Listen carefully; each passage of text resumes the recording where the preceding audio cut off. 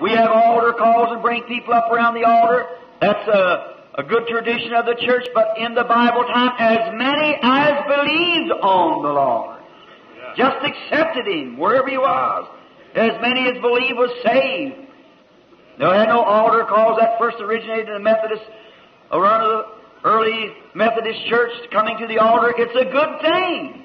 We should never let it go. Keep it up. I think it's a good thing. Come out there, pour your heart out before God. That's the way to do it.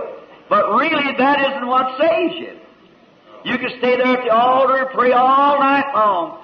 Cry, walk up and down the altar. You could do every penance you could. You could sell everything you got and give to the poor.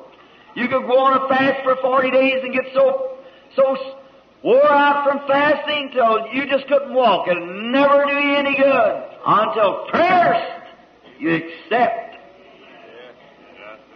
That's it. It's your part. God did His part. Now you do your part. Just a simple thing of believing it. And when you believe it, that settles it forever. Now you can believe it mentally, and you'll still guess at it. But when you believe from your heart once, that settles it forever.